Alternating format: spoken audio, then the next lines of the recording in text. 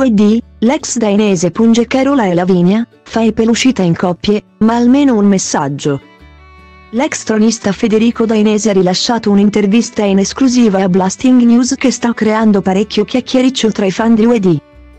Il ragazzo, infatti, è andato contro Armando dicendo che sarebbe in studio per popolarità e poi ha fatto sapere che sia Nicotera che Lavinia sarebbero sparite dalla sua vita dopo la scelta. L'odontotecnico si è detto deluso dal comportamento dei colleghi e ha ipotizzato che la colpa di questo improvviso allontanamento potrebbe essere di Carola e Alessio. Nell'attesa che vengano trasmesse le nuove puntate di UED dal 26 al 28 04, i fan stanno commentando una velenosa intervista che Federico Dainese ha rilasciato a Blasting News. I pareri più pungenti, dunque, il giovane li ha espressi sui tronisti con i quali ha condiviso il percorso nel dating show da settembre a quando ha deciso di ritirarsi senza scegliere. Se con Federica Aversano ha mantenuto un ottimo rapporto, e con gli altri due protagonisti del trono classico che il legame si è interrotto improvvisamente. Con Lavinia mi sono scambiato qualche messaggio, poi è sparita. Anche con Federico mi sentivo tutti i giorni.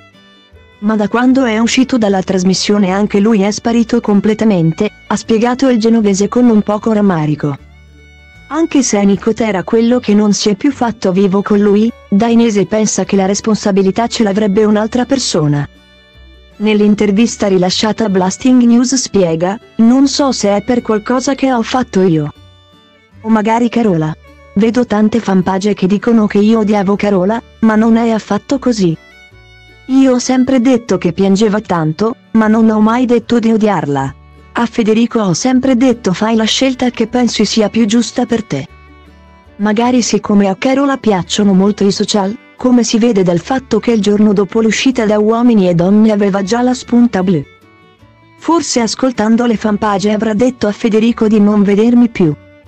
Non saprei, ma ci sono rimasto veramente male.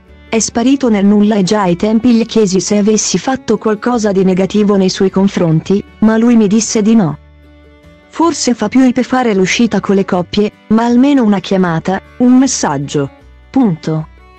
Dainese si è lasciato andare a dichiarazioni anche su due cavalieri che negli ultimi giorni sono al centro dell'attenzione mediatica per la rissa sfiorata in studio. Anche se questa scena molto probabilmente non sarà mai trasmessa su Canale 5, Armando e Riccardo sono nell'occhio del ciclone da sabato scorso. Ovvero quando si è registrata la puntata di UED che andrà in onda a partire da mercoledì 26 aprile. Il dating show sta per tornare con la sua regolare programmazione dopo quasi una settimana di stop, domani pomeriggio. Infatti, il pubblico assisterà al racconto di Gemma sulla conoscenza con Giuseppe e alla furiosa lite tra Tina ed Elio che Maria De Filippi ha contenuto a fatica. Tornado all'ex tronista Federico e all'intervista che ha rilasciato in queste ore. Ha commentato così i veterani del trono over, Riccardo è una grandissima persona. È umile e altruista. Armando è lì solo per popolarità e perché vuole fare l'opinionista. Insomma, il giovane non nasconde di avere una preferenza per Guarnieri dopo aver condiviso per qualche mese gli studi Helios con lui, di incarnato. Invece, il Ligure pensa il suo vero scopo non sarebbe quello di innamorarsi ma quello di aggiungersi a Gianni e a Tina come commentatore di quello che accade nelle registrazioni.